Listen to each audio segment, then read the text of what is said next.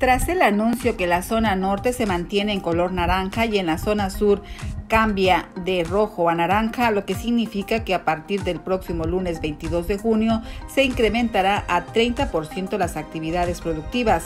Esto del semáforo semanal de reactivación económica en Quintana Roo. Así lo informó el gobernador del estado, Carlos Joaquín, quien puntualizó que parques públicos, playas y gimnasios seguirán cerrados. Apuntó que de acuerdo a las variantes que son tomadas en cuenta para determinar los colores del semáforo de la recuperación económica, los cuales están basados en la capacidad hospitalaria y riesgo de contagio, la curva de contagios va a la baja.